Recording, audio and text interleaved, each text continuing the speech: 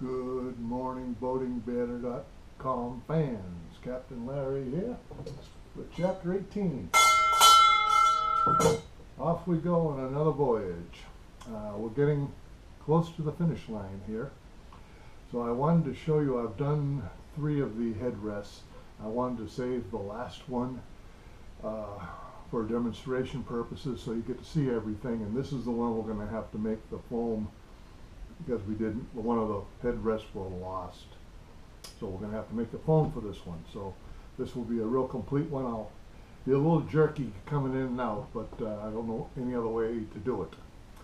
First thing I wanted to show you is my friend made this new, these are the backings we're using now uh, for the Mariah project. I put some of these T-nuts in uh, so we can screw hold them in, but this is all at a good angle, uh, supported at the proper angle, and like I say again, it's, it's screwed and screwed, screwed, so I think it's going to be quite tenacious. This is Mariah's answer to their project. Uh, terrible. Uh, not to be disparaging to Mariah, but that's what you're putting there, they're expensive boats, and putting this crap in there is really a shame. Uh, as you can see, it's all warped.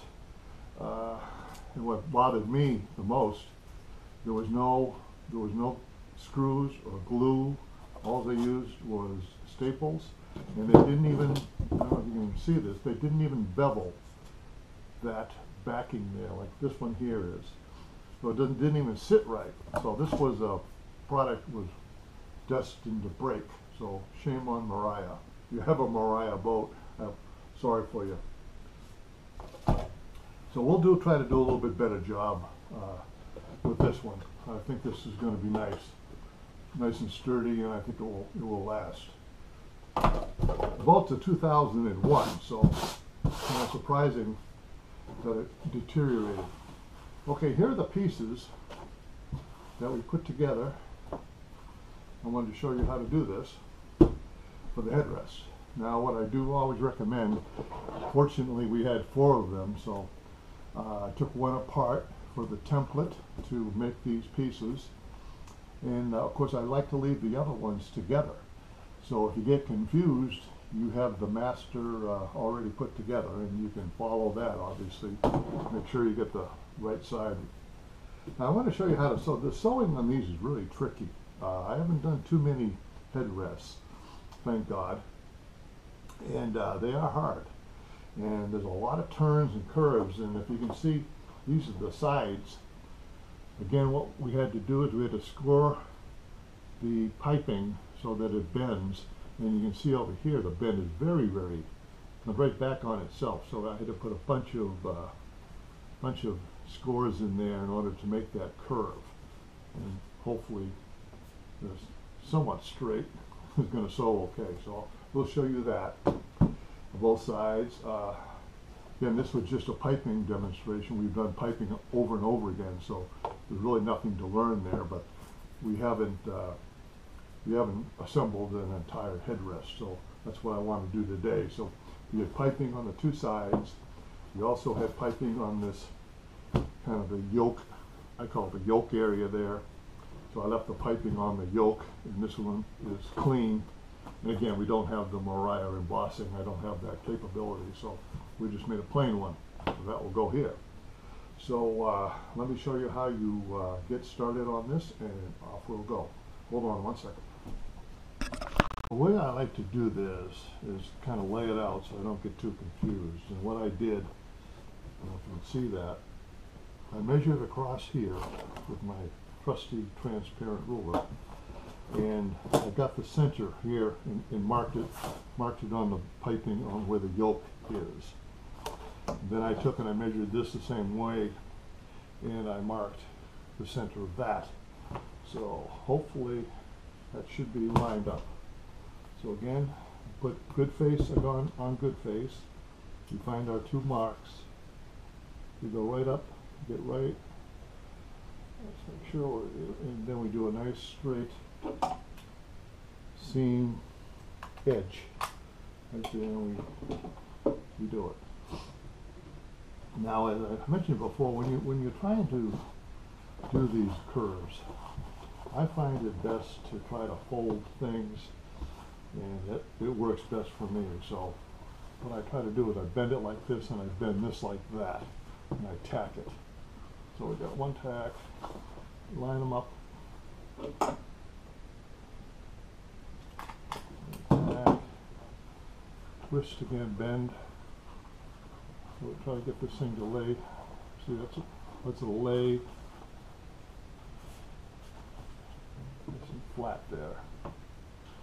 Hit the corners, you gotta staple a little bit more.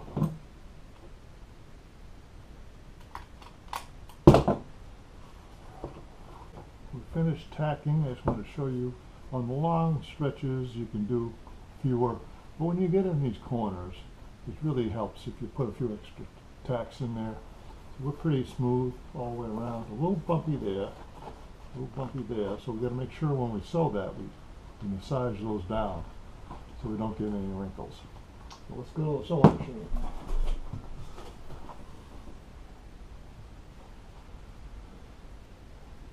Okay, let's see, I think we'll start on this side and then kind of work the whole way, the whole way around.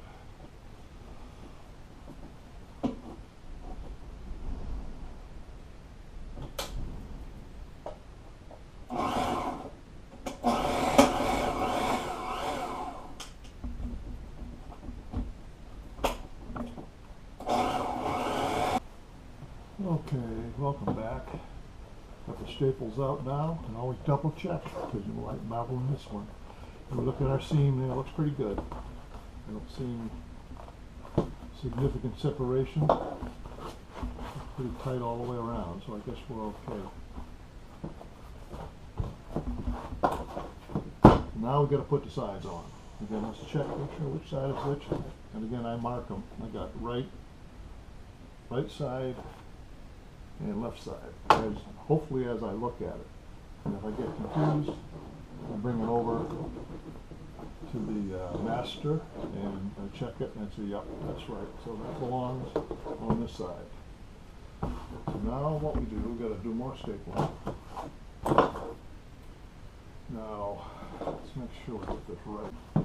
Okay, welcome back here. I got the staples out and I just want to show you that.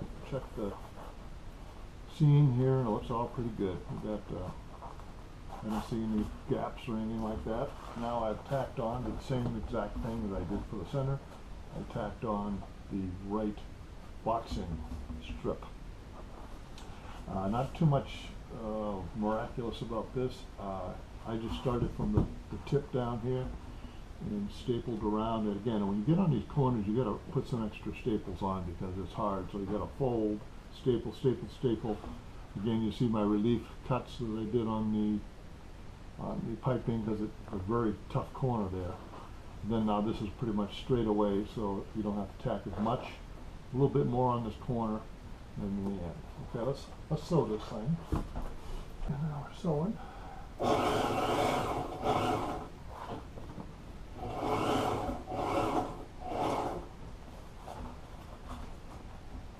And make sure you, you don't re-sew. You get a fold in there, so massage both sides.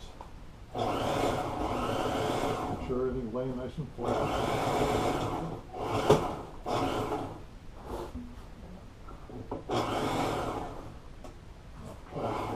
Okay, welcome back everybody. We got it sewed.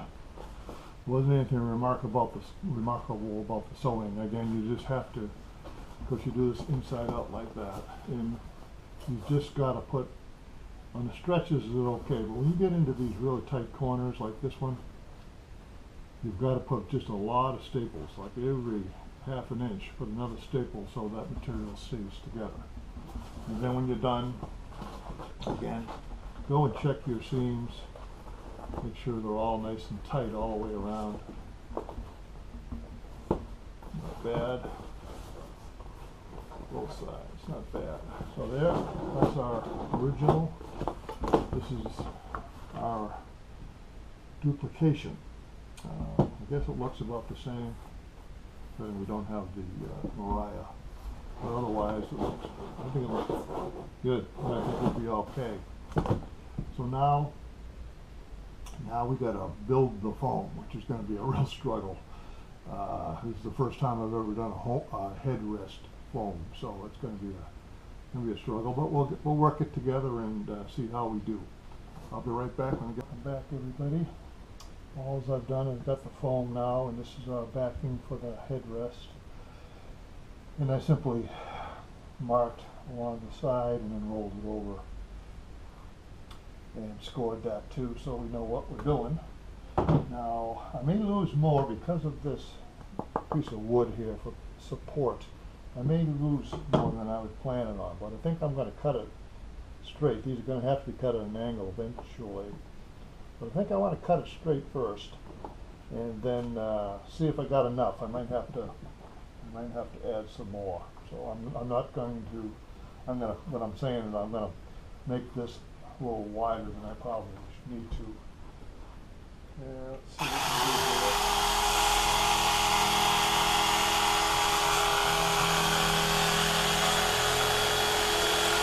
I've got on anyway.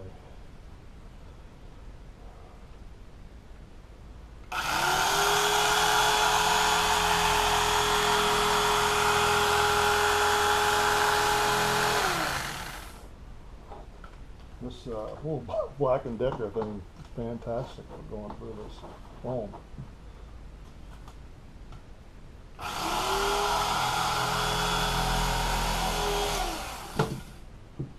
Okay. Our test piece. Let's see. Is it gonna work for us or not?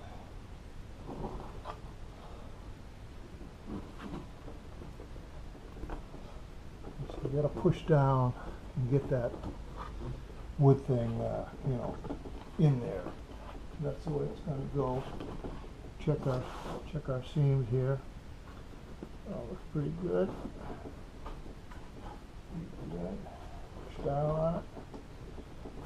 Okay, so we got too much, so what we'll do now, I think we're pretty comfortable that this is gonna work. Score that.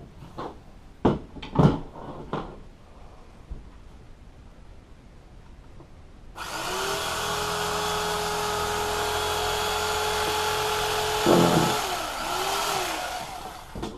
go. Okay, now the key for us to be able to get that new cover on is to get it uh, the, see this goes down pretty good. I think we'll be able to squish it in. This is a little more bouncy foam than that other stuff was, so. But I, we've got to definitely give an angle to this, so let's, let's cut ourselves an angle. let's estimated. About 45.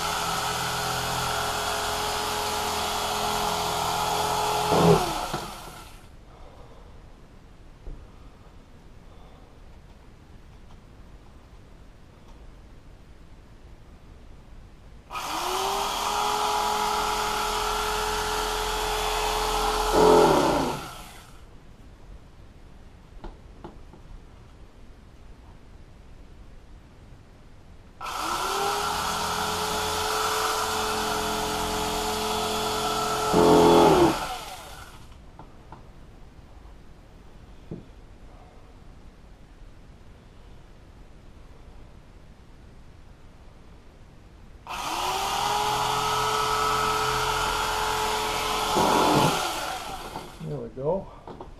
Now, as you can see, I don't know how straight they are, but at least now we have some give. And hopefully it will allow us to get that cover on. Uh, let's check one more time, make sure we're right here. Yeah, that looks pretty good.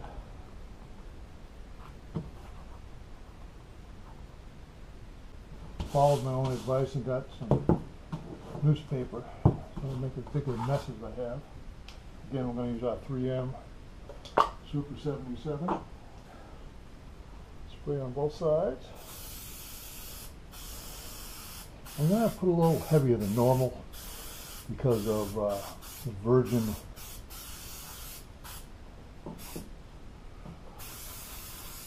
virgin foam here.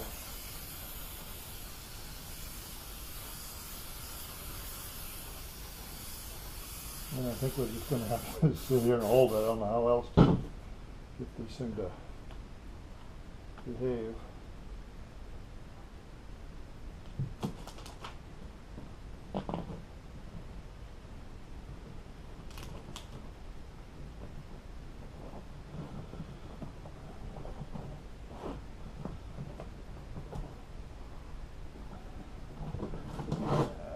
Sideways.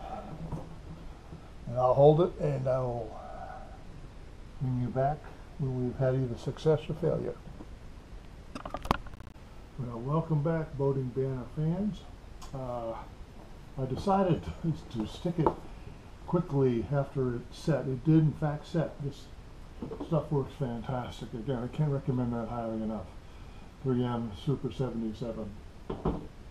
It uh, set up in a couple of minutes. Most everything held down okay, but uh, I wanted to just roughly throw this cover on so that the uh, would hold it to the shape that we need. Now, of course, now this foam is totally different than the other foam, and what I was concerned with, here's, here's one I put together this morning, just roughly tacked, just so that, but this is what it, it looks like. And I guess they're gonna, I guess it will pass. It, uh, you look from the side, you know, the angle is about, this one's a little softer angle, mine's a little, maybe a little sh- sharper. I maybe messed up there, but maybe I can pull that down when I staple it. But, uh, not too bad a facsimile. So there it is. We got this done. I will let you go now and we'll do the, uh, the final stapling on these. And, uh, we'll assemble them on our, uh, uh, backrest, and then we'll finish this thing up uh, the next chapter, and we'll make a big review out of it. So how about that? So this is getting close to the end of 18. Uh, so let me uh, get the rest of the stuff together, and we'll tack these things uh, for real. Okay, welcome back, everyone. So here are four headrests. These three were made with the previous foam, and this is my my feeble attempt here to try to duplicate them. I thought I was, I was bigger, but actually as I measured them, they both come up at five inches as a high point, so I think this is good. Uh, what I do notice seems that these are flatter in the middle, and mine's a little more puffy. Uh, but again, we're, we're competing against uh, foam that was, you know, blown into a, a mold, and so it had a perfect shape or a shape to it. That we're trying to duplicate it with a piece of square foam, so I don't think I could do much better, frankly. Uh, okay, uh, what I want to do, as you see, I got actually some wrinkles on all of these. I want to steam and do my rough tacking, and then I'll do my my hard tacking. But I just wanted to watch, show you the steam part, and you know, I've already shown you the stapling part, so there's nothing miraculous about that. So let's see if we can't get some of these wrinkles out here.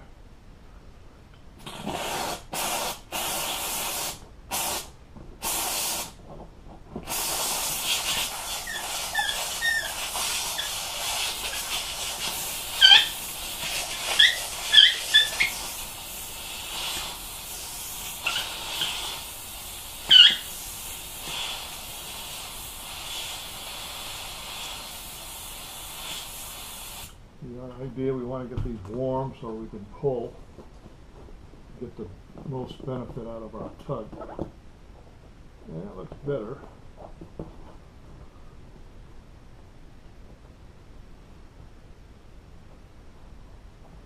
Let's tap that.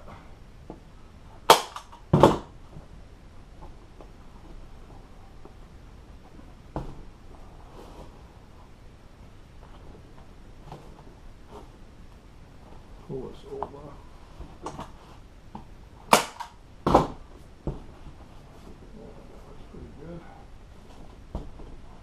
Here.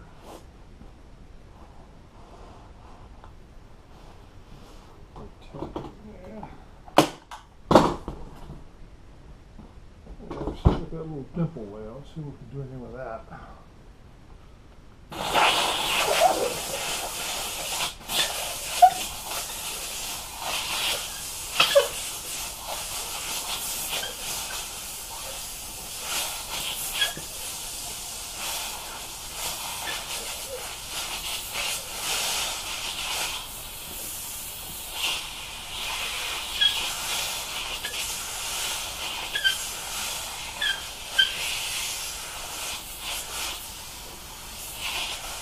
Going.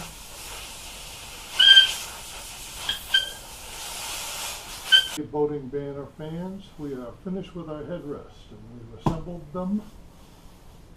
Just out of curiosity, can you tell out of the four headrests here, which one we made from scratch and which one was the original foam? Three with original foam, as you remember, and one I had to build from scratch. And actually, I, I even forgot which one I had done that I remembered. This is the candidate over here. This is the one we did from scratch. I think it looks almost, almost identical, if not. The only thing I notice is that these centers are a little flatter and our new one has a little bit of a, curve to it. Pu- pu- pushing out, I I assume, for the foam. But that might set down as the days go on, because it's very old foam and it's all brand new foam, so a lot more springy. So that will probably lay down. There's our finished product. Everything now but the underneath. And uh, we'll show you that uh, in the next chapter, chapter 19. We will be totally finished. I'm going to just, I got to tack, put the covering, undercover on and hide them. And then we'll do a quick review of the cost and the time involved. And we will be done with this project. Appreciate y'all coming by and hope you have a great day.